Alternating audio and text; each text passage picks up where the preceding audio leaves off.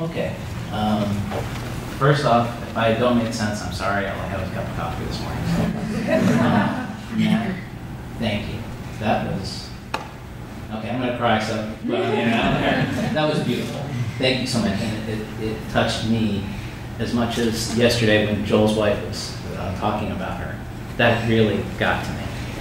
Um, I'm so happy to be here, and I feel like I'm kind of coming full circle. We, my wife and I, have been on um, a purging journey, pretty much at least a decade now. I don't know. Our parents were born during the Depression, um, were raised during rationing of World War II. So, like many of you, they kept everything because you never know, you may need it. You, you will. Um, so we got to a point of you know, that, that was just our natural state, and we, you know, we had the piles. You know, there was an episode of uh, Twilight Zone, Burgess Meredith, and he all he wanted to do was read books, and the, his he didn't care about anything else but reading, and he gets himself locked in a safe of some sort, and there's you know a world war, and he comes out, and everyone's gone, and all he has is his books, and he's got his books all lined up. And he's like, finally, I have time enough at last. I, this is this month, next month, next year, 10 years from now, I can read everything. And then his glasses fall and he can't see because he had these big cobalt glasses. Um, but, and we felt like that. So we started uh, purging on and on and on.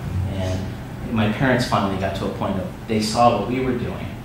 And they said, you know what, we don't want you to be stuck with the stuff that we have sitting in the basement from when my grandmother died in 78 and still actually there, but um, but but they started doing that, and that was a wonderful thing that I could pass on to them. And to get back to the coming full circle thing, um, two years ago, two years ago on this day, I got a phone call that my mother was terminal. She had a two-year battle with cancer. She fought it bravely and uh, I got the call, and we go to the hospital. And uh, I spent the next week on, on the floor with her. Sorry. I promised myself I wouldn't cry. um, but going through that was, was the final armor to push forward in my life. That finding what was important, what was essential, what was not.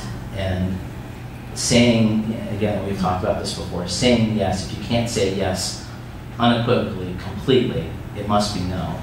And being here with all of you has been just a, it's a wonderful experience because I'm in a room of people who all have the same beliefs and care about each other. I mean, look at this wall offers and needs.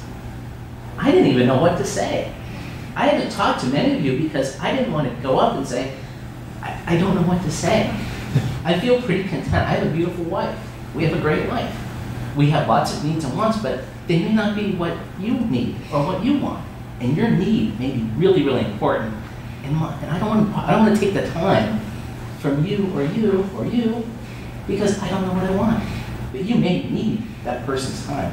And I don't want to come up and bother that. So if I haven't talked to many of you, it's because know what I need and want right now. But I'm just really, really helpful, thankful to be with all of you this weekend.